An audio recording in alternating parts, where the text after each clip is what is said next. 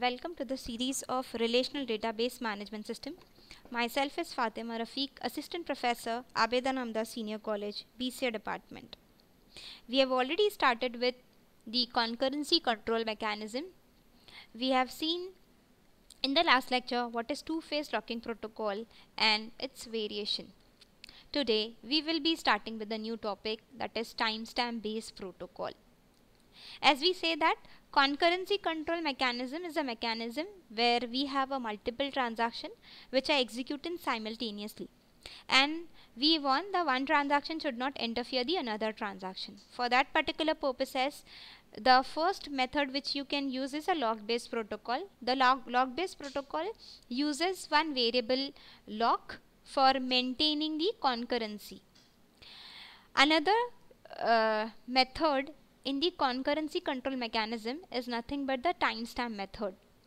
Timestamp method is the method where we are using or we are taking the help of timestamps for maintaining the concurrency control in the transactions.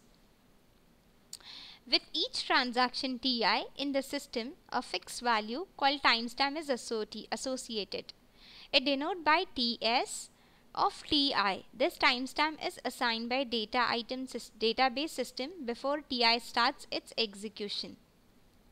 If transaction Ti is assigned a timestamp Ts of Ti, a new transaction Tj enter the system, then Ts of Ti should be less than Ts of Tj.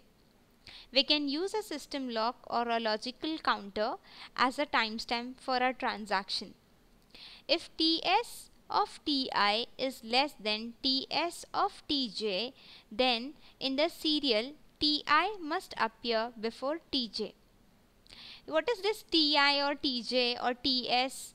So Ts is timestamp. Uh, like for example in the normal um, simple language we can say that this is one system time which is assigned to a transactions like for example if I have transaction T1, T2 and T3 if transaction T1 starts at 1030 I'll be giving a TS as 1030 to transaction T1 and then after like T2 transaction come at 1035 so I'll be giving one time to a transaction T2 which is 1035 that 10 1030 and 1035 is nothing but the timestamp which is given by a system.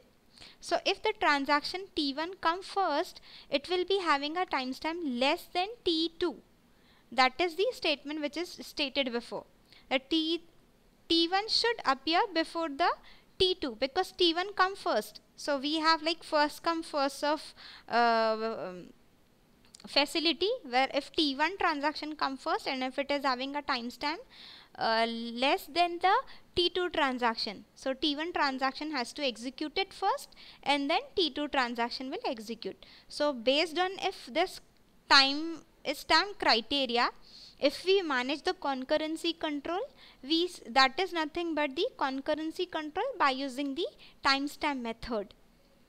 For each data item q two stamp two timestamp value are associated with. Because we know that whenever the transaction is executing the data item is either locked for a reading purpose or locked for a writing purpose. So that's why we will be having a two a variation of timestamp. One is the writing timestamp, another is reading timestamp. What is writing timestamp? Which is it is denoted by W underscore timestamp of Q. It denotes the larger timestamp of any transaction that executed write Q successfully if we have n number of transactions. And let's consider they were using the same data item. So write timestamp is the largest value of the timestamp where the Q uh, write operation is executed successfully. Like for example, consider I have T1, T2 and T3.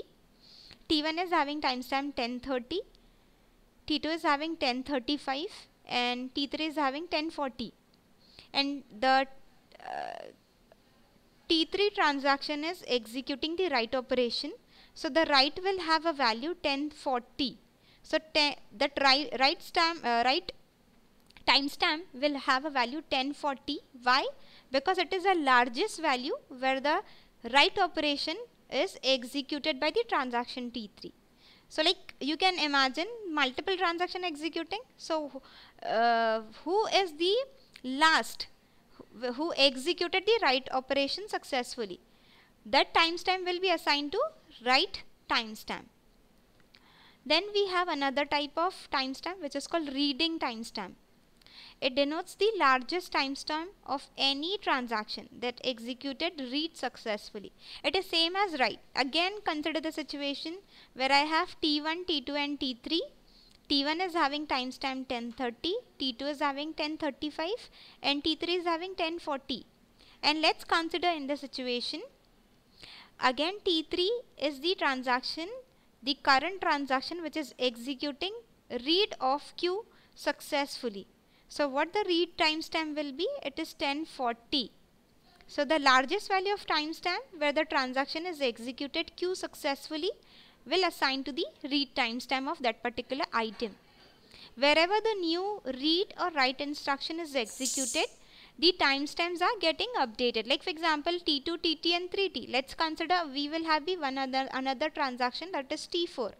Now T4 come at 1045 so if the transaction T4 is executing the data item and it is executing reading and writing both the instruction. So the read timestamp of the data item Q and the write time write timestamp of data item Q will get updated. So these timestamps are not fixed but they will update uh, they will get updated according to the transactions execution. So this is all about timestamp. I hope this is clear to you. In the next lecture, we will see the timestamp ordering protocol. If you find any difficulty regarding this particular topic, you can write the write in comment box. Thank you.